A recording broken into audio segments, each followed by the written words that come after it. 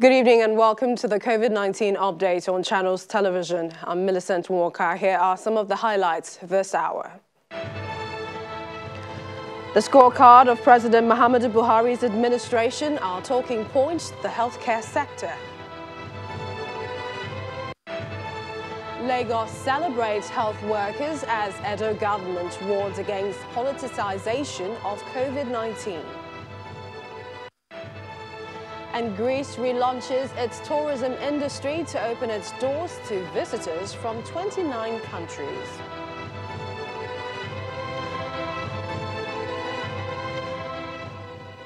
The response to the COVID-19 pandemic globally has generated unprecedented collaboration between various professions and scientific disciplines, especially improvement in science, epidemiology, data and information technology in Nigeria. In less than four months, the Nigeria Center for Disease Control has expanded its molecular laboratories from 4 to 28 and more underway across the federation. The coronavirus has emphasized the importance of using sound quality improvement methods to deliver excellent, safe care to every patient every time while protecting the healthcare workforce. But even the best healthcare systems have buckled under the weight caused by the SARS-CoV-2 strain. While some experts say Africa seemed to be spared the worst in terms of its low fatality rate from COVID-19 due to the aged demography of residents in the region, it is time for all hands to be on deck to deploying innovative practices, employing strategic prioritization to improve the healthcare sector across board. In 24 hours, five deaths were recorded as a result of COVID-19, bringing the total death toll from the virus to 259 after the NCDC confirmed 182 cases of COVID-19. The total number of cases in the country now stands at 8,915 cases, while 2,592 patients have recovered. According to the center, 35 states and the FCT have recorded confirmed cases of COVID-19 except Cross River State. A look at the breakdown of the figures by region shows that Lagos in the southwest has 3,331 active cases, maintaining the highest number of cases at 4,123. And this is after recording 47 deaths and discharging 745 patients. Kano State is the highest in the northwest, the second highest in the country, with 939 cases. It has made 139 recoveries and sadly lost 41 uh, patients. The FCT in the north central region maintains the third highest figure with 535 cases. Borno leads in the northwest, uh, rather northeast, with 258 cases. Edo in the south-south with 240 and Ebonyi in the southeast has 40 confirmed cases. Today, May 29, the All Progressives Congress-led administration of President Muhammadu Buhari clocks one year in its second four-year term and the fifth year of the government in office. The date used to be observed as Democracy Day in Nigeria, marking the day the military handed over power to an elected civilian government in 1999 and the beginning of the longest uninterrupted civilian rule in the country's history since independence. That, however, changed in 2018 after President Buhari declared June 12 as the New Democracy Day to honor the late businessman and politician Moshood Abiola, who emerged winner of the presidential election of June 12, 1993, but which result was nullified by the military government under General Ibrahim Babangida. In the meantime, the presidency has been giving its scorecard in the past five years, insisting that it has performed well in areas in which the administration promised change, and that is tackling insecurity, reviving the economy, and fighting corruption. So frontline health workers in the midst of this pandemic is part of his uh, one year in office anniversaries. Frontline health workers in Lagos State have received recognition for their contributions in the fight against the coronavirus pandemic. As part of the one year anniversary of the administration of the governor of Lagos State, Mr. Babajide Sanwo-Olu acknowledged the role of health workers while expressing confidence that Lagos will come out strong in the battle against COVID-19.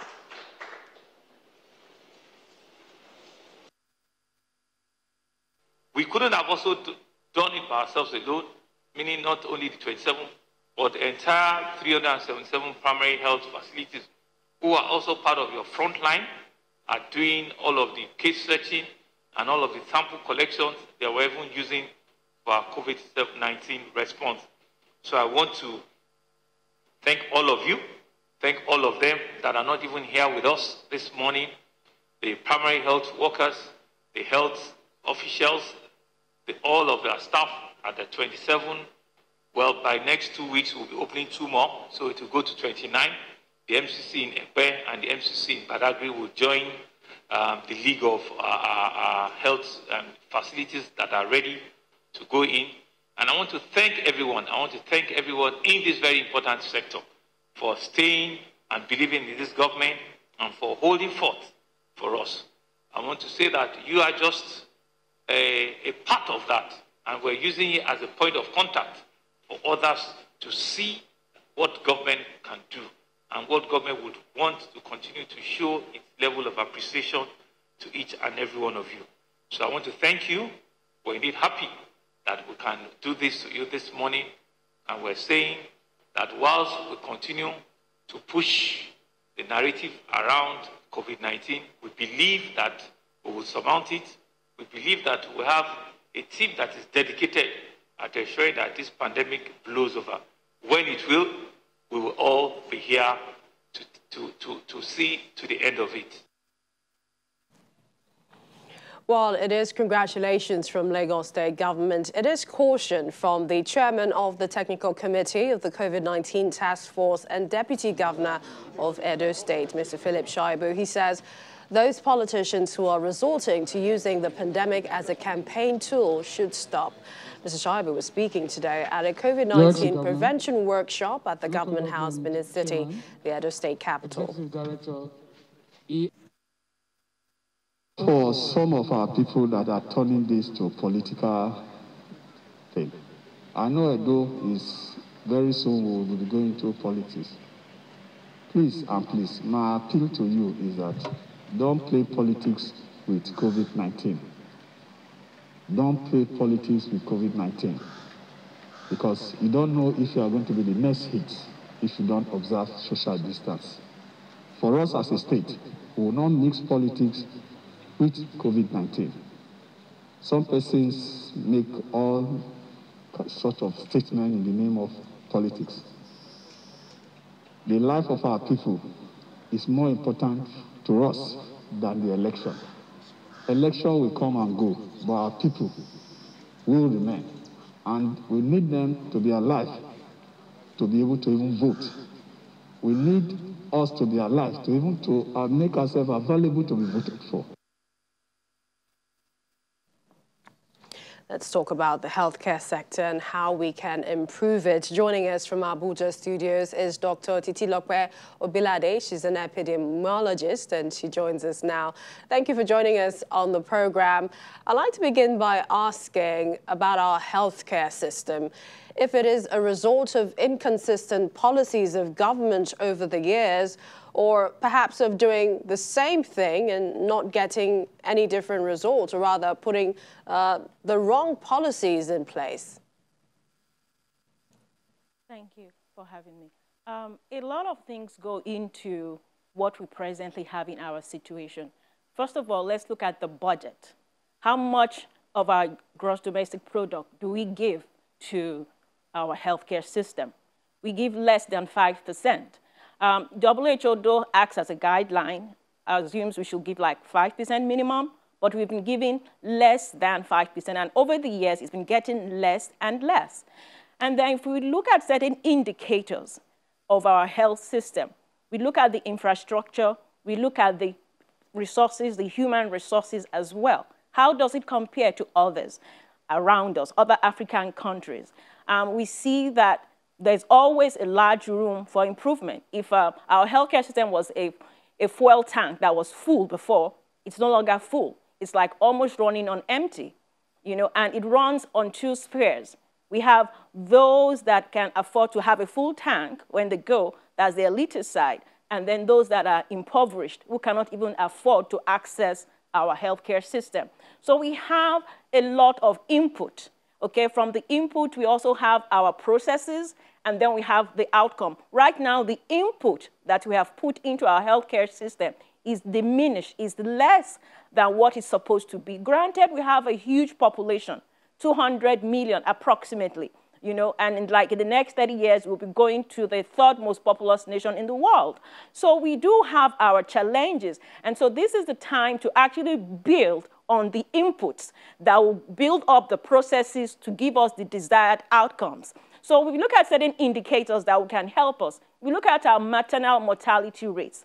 We look at our infant um, death rates. All these things are too high. You can, you can, like you can imagine 800 women dying out of 100,000 people just because they have put to bed or because they are pregnant.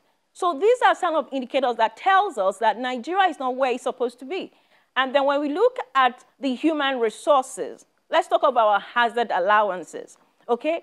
Um, the doctor, just for the African nation alone, if you look at places like Sierra Leone, Liberia, what they get for hazard is about 60% much higher than what we are getting. You know, let's say we are getting 5,000 naira for hazard, and they are getting like times 60% of that. So the mor morale is not there. And then we graduate like maybe we have registered doctors, like 80,000 registered doctors. And then more than half of that are overseas, UK, US, um, Saudi Arabia, so we're just producing them, but they are not staying because we have not put in the things in place for them to stay. And not only that, the insurance. We have, to, we have a, you have a universal insurance health scheme. You know, like I said, if we have a health system like a fuel tank, it can be full for those who can afford it. But for those who cannot afford it, it's running on empty, almost on reserve. So we need to bridge that chasm. We need to, by the processes that we put in, these are the things we can put there. The insurance scheme, we have the universal health insurance scheme.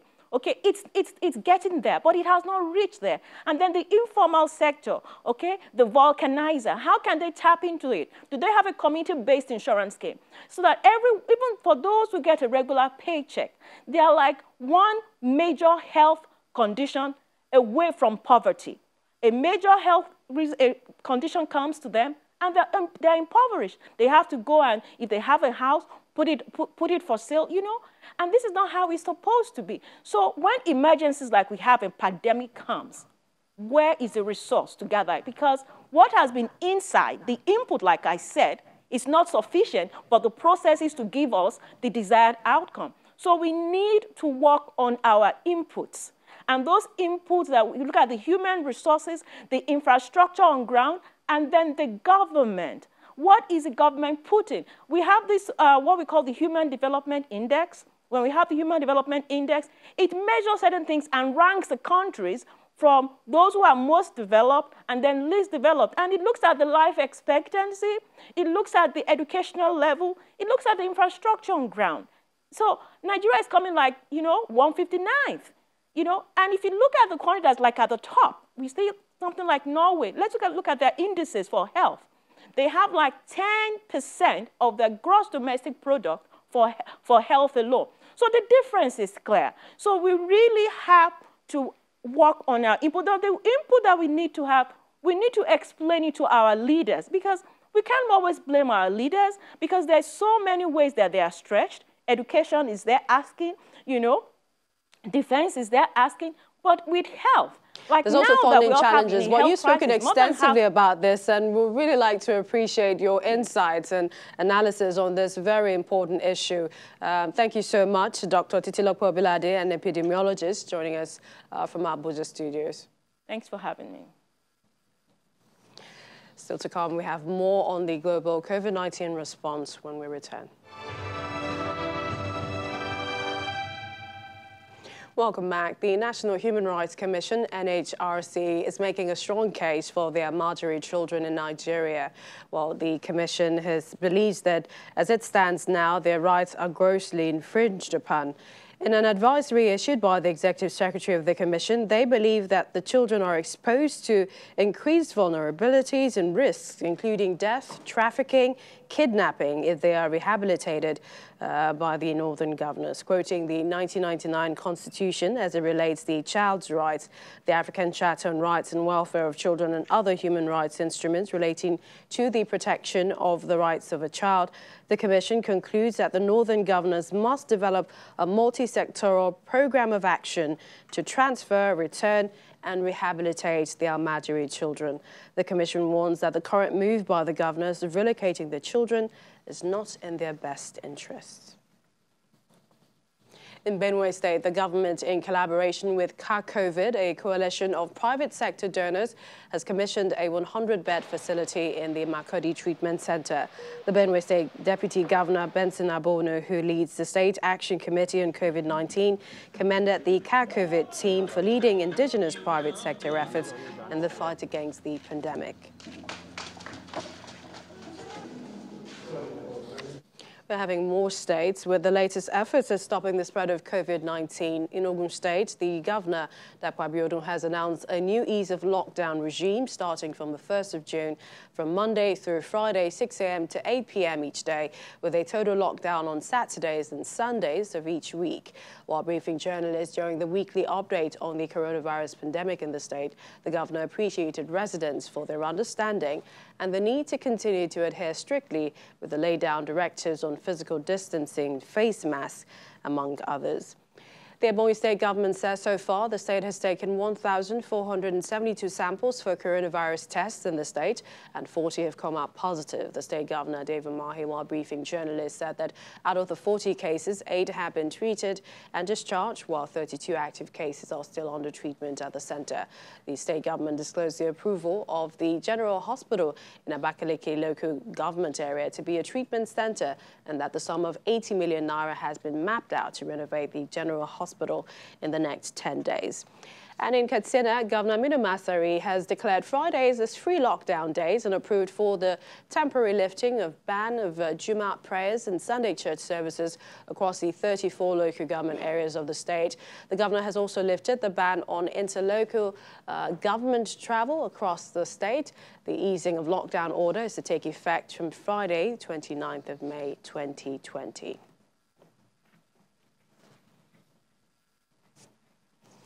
And in the studio here in Lagos, Dr. Oluwa Damilola Mati, a public health physician, joins us now. Welcome to the program. Thank you very much. I'd like to first ask you about some of the measures we're seeing state governments take. Like you just heard Katsina State saying um, lockdown ease, but this is for, you know, Friday prayers and then Sunday services. Does that give you concern? Oh, yes, that does. Um, because those are congregations where you have large numbers of people. So I think that would be premature at this point. Um, how do you tell who and who should come to church? How do you tell who and who should go to the mosque? Even if you wear your masks, there's still, there's still surfaces to touch and all that. How do you ensure people are hand washing or sanitizing their hands effectively? And those services take at least an hour. So you're going to put a large number of people together for at least one hour. I don't think that is um, that is safe for now. Okay, let's look at the rapid diagnostic test kits. Um, the NCDC has said WHO has not validated that. We're having some state governments say that they've you know, received some of these test kits. Um, also, the I think Medical Laboratories Association are saying that it's not been validated for use, but we still need to ramp up testing. How do we bridge that gap? Yes, so um, the DG of the NCDC has already said that um, they've procured about 100,000 tests. So um, the government, the NCDC, is trying to ramp up testing all over the country. And again, the, for the rapid diagnostic tests, they haven't been validated. So even the one that um, was um, that they were working on in America and validating in America can only give about 50% accuracy, which means that if you run 10 tests, five, you know, may go right. So at the end of the day, you need to have tests that are very sensitive and very specific tests that will tell you if somebody has COVID-19, they do have COVID-19. If they do not have COVID-19, then they really do not have COVID-19. You don't want to make mistakes along the line. You don't want to send somebody to an isolation center and then come back and say, oh, sorry, we did a PCR, the polymerase chain reaction test, and then it is negative. And the PCR is the gold standard. That is the test that should be done for COVID-19. That is what tells you a person really has COVID-19 or not. So the journey to fast testing is? To ramp up testing. Um, like what um, the DG has said, once um, more, more tests are available to the labs, then manpower is actually very important at this point because you need people to take the samples. That's where manpower comes in. So get more people, more lab people to be able to take the tests and then only get the results. All right, we appreciate your time, Thank Dr. You so Oluwadamilola Matthew, public health physician. Thank you for talking to us. Thank you. Greece has listed 29 countries from where it will accept visitors as of June 15 as the Greek government looks to mitigate some of the financial damage from the coronavirus pandemic. The Greek Tourism Ministry says travelers from the permitted countries will be able to enter Greece on direct flights to Athens and to the northern city. Hotels opened in Austria today in a further easing of the country's lockdown restrictions. For now, they're only open to citizens, but there are hopes that foreign tourists will be able to visit once the borders with neighboring countries open in mid June.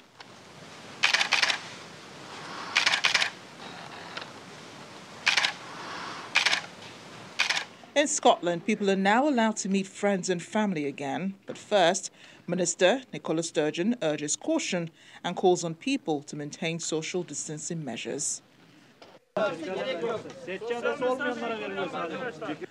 Turkey has also relaxed some measures, resuming some mass prayers at a limited number of mosques after a break of more than two months. The country has suspended public prayers, limited travel, and closed shops and restaurants. However, the government has started to ease the measures amid a slowdown in infections and deaths.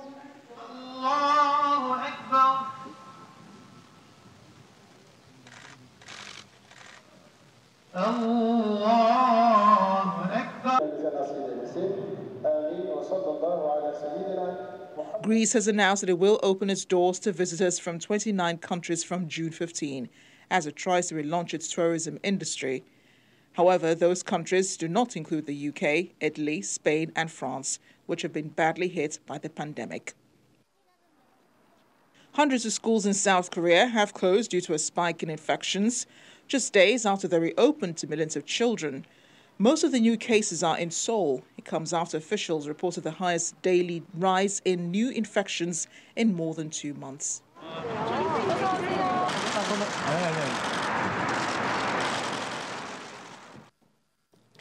A message from the NCDC is that face masks are to be used as an additional layer of physical distancing while out for essential services. You can find the latest guide on their website as the centre continues to work closely with states, setting up treatment centres, training health workers to manage COVID-19 patients to recovery. The WHO website has the latest updates on the global response to the COVID-19 uh, pandemic. It has practical guidance for strategic action. You can take a closer look at some of the numbers um, across uh, the continent in real time. Also, channelstv.com, our website has more updates. You can find the latest on the pandemic in Nigeria and across the world, plus other stories uh, all at your fingertips. That is channelstv.com. Thank you for watching. I'm Millicent Walker. Another update comes your way again at 9. And so even though the weekend is here, please remember to avoid mass gatherings.